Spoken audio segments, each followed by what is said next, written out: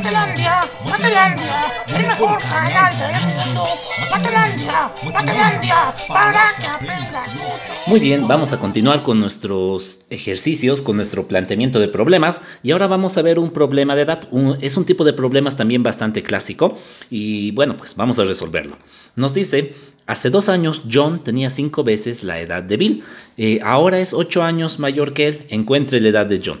Obviamente que en la vida cotidiana nadie te va a decir su edad de esta manera. Pero estos ejercicios son buenos para ayudarnos a practicar un poco nuestro razonamiento, nuestra forma de plantear problemas. Entonces nos ayuda bastante a, a mejorar nuestra capacidad.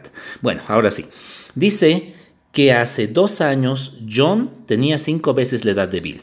Bueno, y dice después que ahora es ocho años mayor. ¿Quién? John es ocho años mayor que Bill, ¿verdad?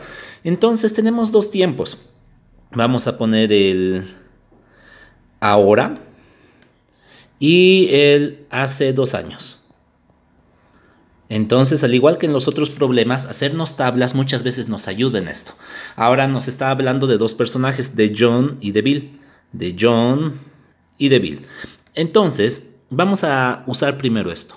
Ah, ahora dice John, porque John es el sujeto, está hablando de John.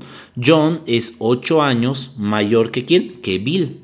Entonces John es 8 años mayor que Bill ahora. Por lo tanto, la edad de John depende de la edad de Bill. Entonces, a Bill yo le voy a poner X y a John le voy a tener que poner X más 8 porque dice que John es 8 años mayor que Bill.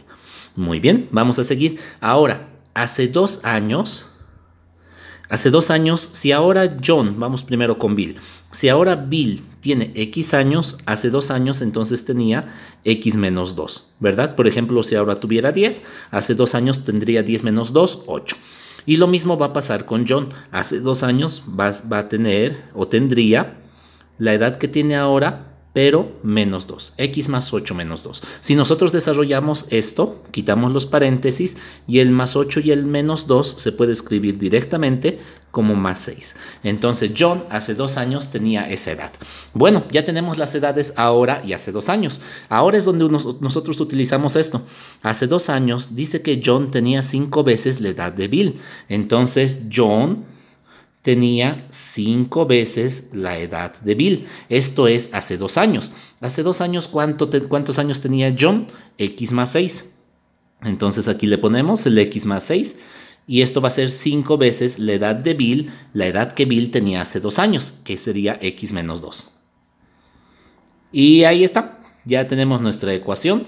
Como siempre, la vamos a resolver lo más rápido posible. Eh, vamos a restar x a ambos, de forma que aquí me queda 4x, y vamos a sumar 10, de forma que aquí me queda 16. Vamos a dividir toda la ecuación entre 4 y me va a quedar que x es igual a 4. Entonces, me está preguntando, encuentre la edad de John. Y John ahora, porque si es la edad actual, ¿verdad? La edad actual ahora, John tiene x más 8. Entonces la respuesta sería que John tiene x más 8. x vale 4, entonces 4 más 8, 12 años. Ahí está.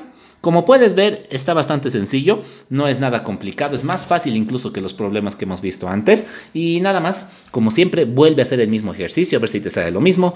Practica, apoya al canal, dale un like, comenta, comparte, dale un... eh, suscríbete. Bueno, apoya al canal en sí. Nos vemos en el siguiente video. Yes, yes the,